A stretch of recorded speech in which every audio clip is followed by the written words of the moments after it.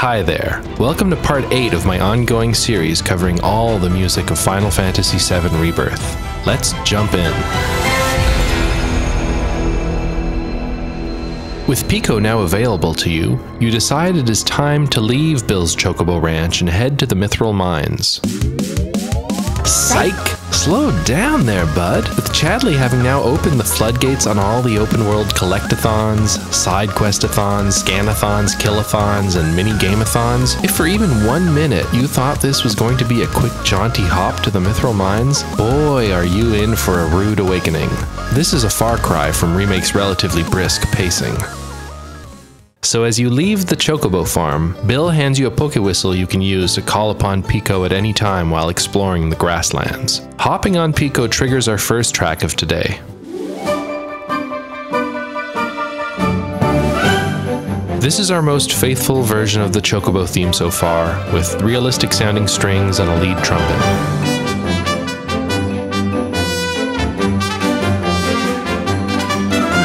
It's sweeping and joyous and very short. Unlike most Chocobo riding tracks in the series, this one is non-looping. It's a glorified jingle that knows when to call it quits. I think this is a fantastic decision that gives you the whimsy of hopping on your Chocobo without having to sacrifice for too long the mood of the region's current soundtrack. The world of Final Fantasy VII Rebirth is divided across several regions, and each one of them has its own chocobo to catch and chocobo jingle to hear. Interestingly, each version of the jingle is usually arranged by whichever composer or arranger is most featured or seemingly in charge of said region. This makes each chocobo jingle a sort of snapshot of the sound and feel of a region. Shotaro Shima dominates Chapter 2, so it makes sense this realistically orchestrated, uplifting arrangement would be done by him.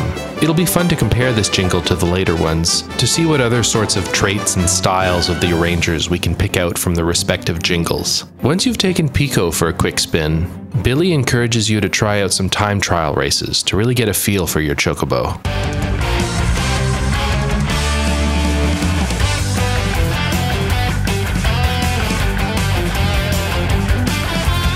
It's yee-haw o'clock as the time trial starts and we get a more rocking version of the Chocobo theme. We've got big drums and a big electric guitar, yeah, naturally, but don't forget the chugging organ lower in the mix. After the first verse, we bring in a goofy synth line that reminds you, in case you forgot, not to take any of these Chocobo tracks too seriously.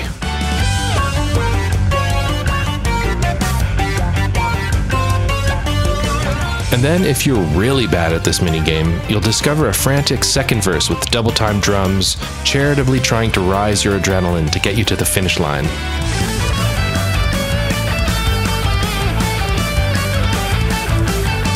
The whole track is about a minute and a half long before looping, but most God gamers probably only heard the opening 30 seconds or so. I faintly recall hearing this track later on in the game, during, I don't know, some other Chocobo shenanigans, so you're probably just expected to hear the whole loop later. Once you finally drag your Chocobo butt across the finish line, it plays a results style track.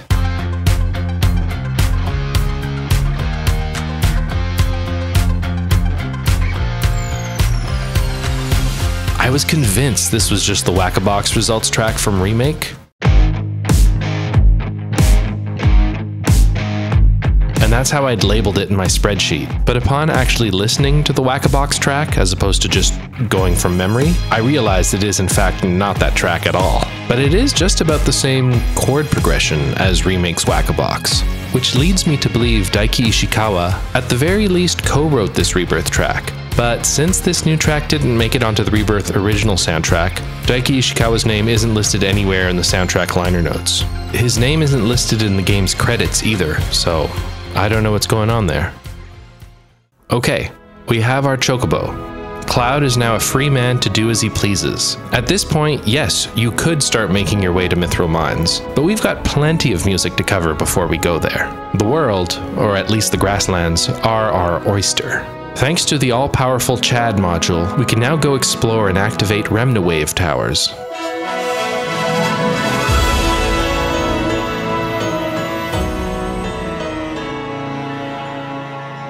Yes, that's Chadley's theme in there, but that's not all.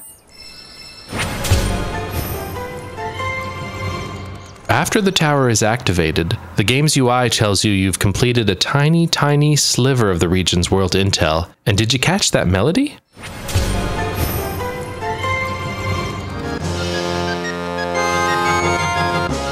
But you're not just activating Remnawave towers for the dopamine hit of hearing familiar melodies. Their secondary purpose is to reveal the location of other things you can interact with on the world map. That symbol there means there's a unique monster encounter. The one next to it says there's a lifestream source nearby. So let's go through them. Oh, and speaking of open world melodies,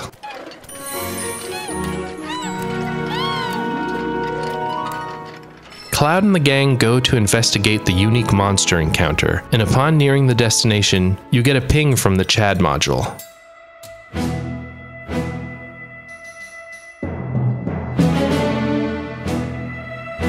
It's Mai, Chadley's virtual AI assistant, twin, rival, whatever you want to call her. Her role in the game is to give you information about the various World Report battles scattered across the world, and also to fight Chadley over Cloud's attention. The track that plays as she speaks to you, I suppose, could be seen as Mai's theme of sorts, but to me it doesn't sound like that at all.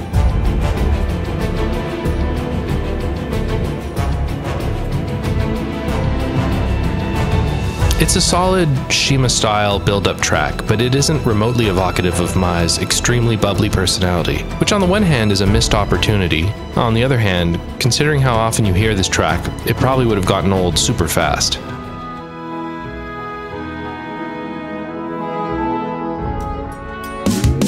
Here we go!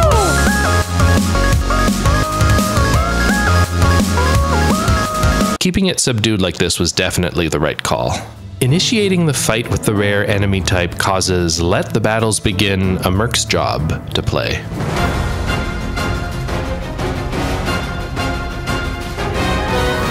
This is the version from Remake that I highlighted back in episode 4 that's used as the intro to the Materia Guardian fight.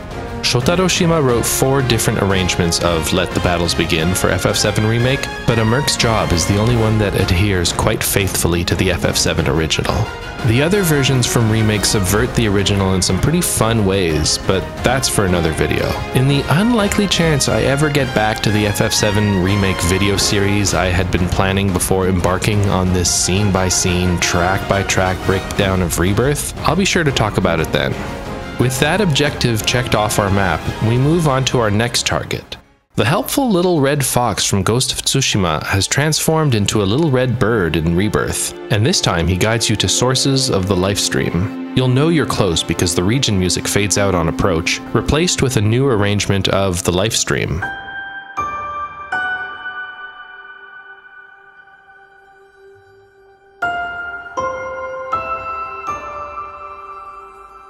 While not as well known as the main theme, Let the Battles Begin, Sephiroth's theme, the Lifestream leitmotif is still one of the most important ones in all of Final Fantasy VII. It's the first thing you hear when you start the game.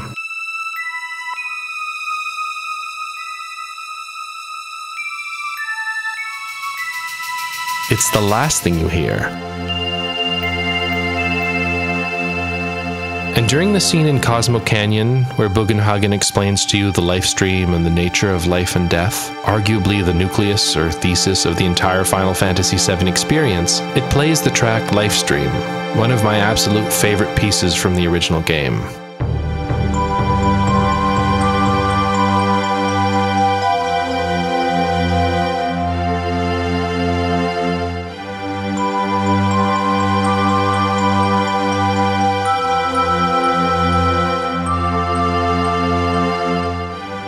Shotaro Shima's arrangement of this piece is, as expected with his work, faithful and beautifully arranged, but this time I think a lot of the magic is lost.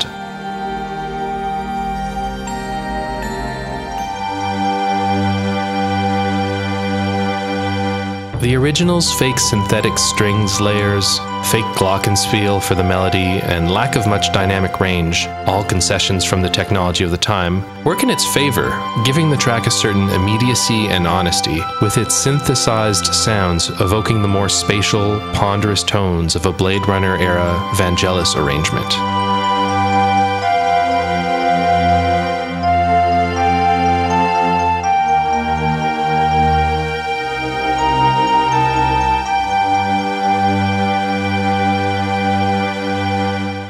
Shima's rebirth arrangement, he's logically mapped the synthesized instruments to what they were actually trying to evoke. The strings are actual strings now. The brightness and in your faceness of the fake glockenspiel is blended with a piano in the mix to make it less harsh.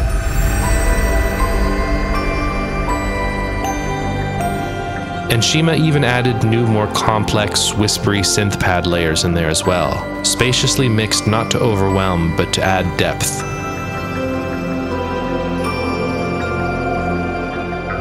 There's so much more going on in this rebirth version, and as a one to one translation, I think I understand the reasoning behind just about every decision. Another example is the beautiful hand drum that briefly introduces every verse. This is the soul of the piece, but in Rebirth, it's been replaced with a single, wider, softer bass drum hit.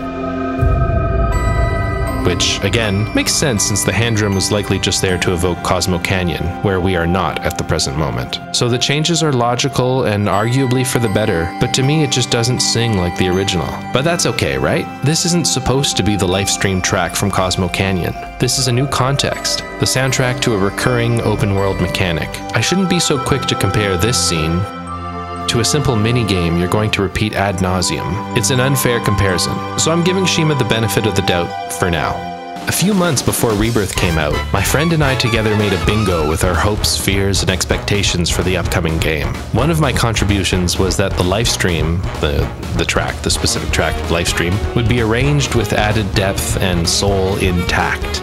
This fonts of knowledge arrangement here certainly has added depth and complexity, but I would argue its soul is not intact. I'll be very, very curious to revisit this conundrum when we reach Cosmo Canyon and we get the proper version of Lifestream in episode, ooh, let's say episode 35. 35. That sounds about right. Okay, moving on. There are multiple lifestream sources within a region, and after finding a few of them, Chadley is able to reveal the location of a dig site with some valuable junk in it. Reaching the dig site, we get bombarded with a huge bluesy funk track.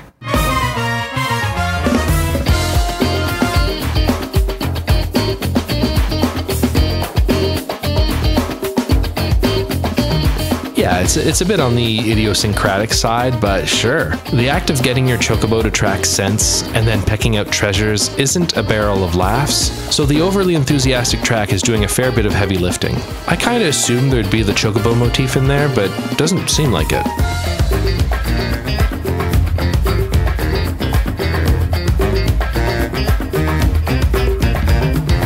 Or a reference to Final Fantasy IX's Hot and Cold chocobo minigame would have been fun as well, but that's alright.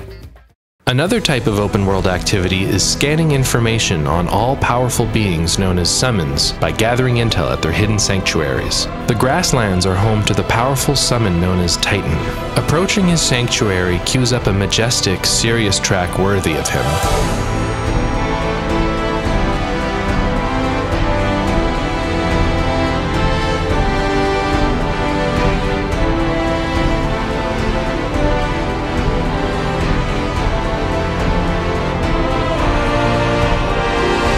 This is a fantastic original rebirth composition by Reo Uratani. Uratani is no stranger to video game scoring, having worked at Capcom primarily for the Monster Hunter series for well over a decade. Like many Japanese in house composers, he's gone freelance during the last decade, resulting in a more varied portfolio, including the underrated Atelier Ryza series,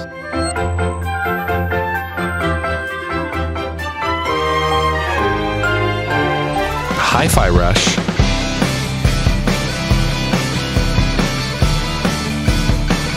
and even smaller indie projects like Meg's Monster.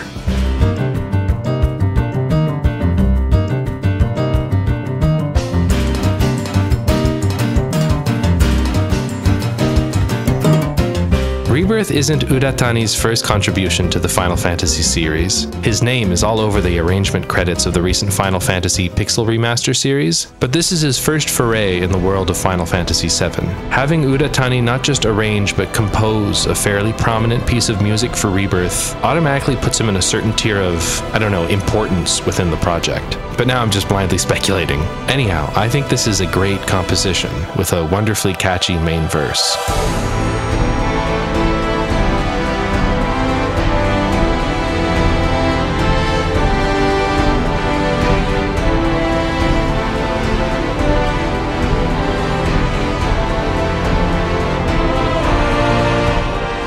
Tonally, compositionally, it reminds me a bit of Masayoshi Soken's style.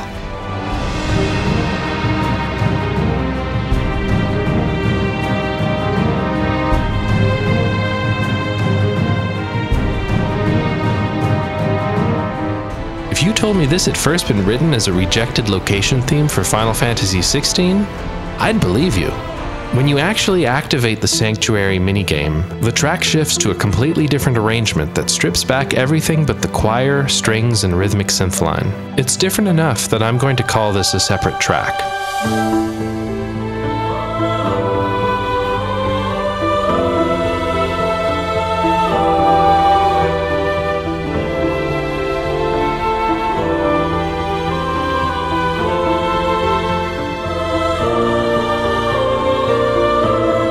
This version only plays during the minigame, so there's a good chance you didn't let it play out in full, but it's worth it.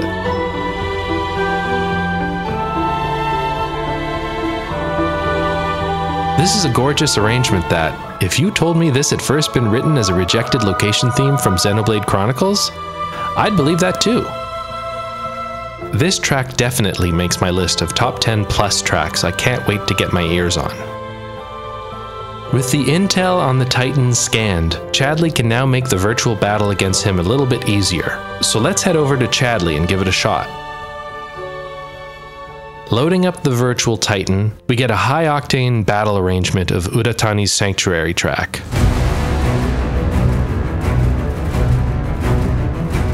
But this one isn't handled by Udatani. It's handled by Ryo Furukawa, one of the unexpected standout stars from Final Fantasy XVI's soundtrack. To quote my first Final Fantasy XVI video, Ryo Furukawa arranged a paltry four songs for Final Fantasy XVI, but they are among the best in the entire game. Logos, yes, but also The Riddle, No Risk, No Reward, and a little something called Ascension. Needless to say, Furukawa's contributions to Final Fantasy XVI cannot be overstated. So imagine my surprise when I saw Furukawa's name all over the Rebirth soundtrack. He's credited with arranging around 20 tracks on the official soundtrack, and who's to say how many more that didn't make it onto the first release? This is fantastic news. I'll tell you right now, I don't think any of his Rebirth tracks reach the dizzying heights and spectacle of Ascension,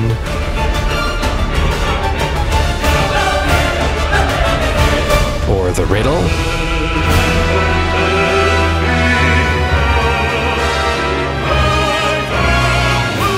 But if you are a fan of No Risk, No Reward, one of the best tracks from 16 in my opinion, you will likely be plenty pleased with his rebirth contributions. And this Sanctuary battle track arrangement is as emblematic of that as any of them. Both tracks use big cacophonous brass for the lead melody,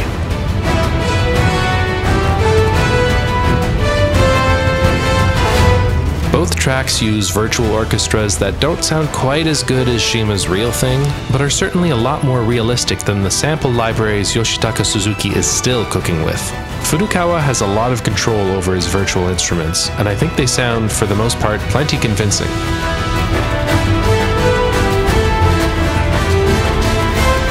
Certainly convincing enough. The third telltale Furukawa sign is the always rousing rhythm section that just keeps things moving. The interplay of brass and percussion is electrifying and gives his arrangements such a sense of momentum.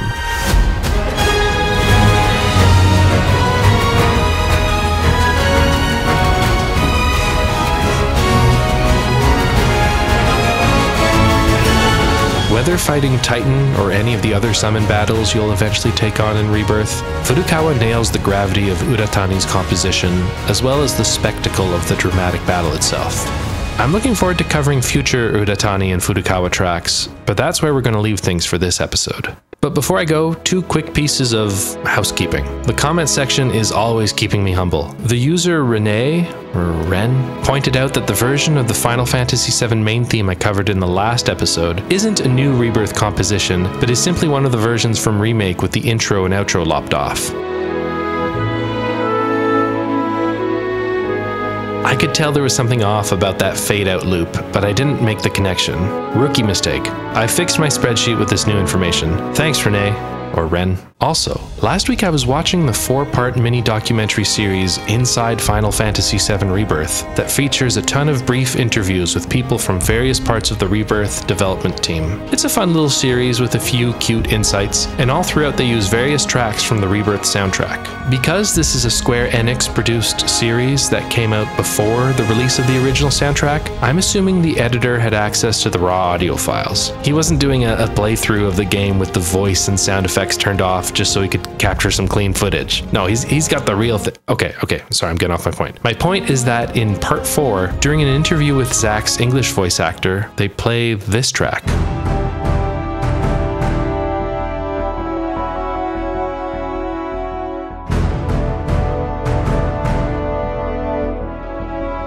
Yeah, that's what I called the back half of Yoshinori Nakamura's Call Me Skedaddling in my part 6 video. During that video, I mentioned being torn as to whether this part of the track was just a coda of a longer piece, or if it was a separate track.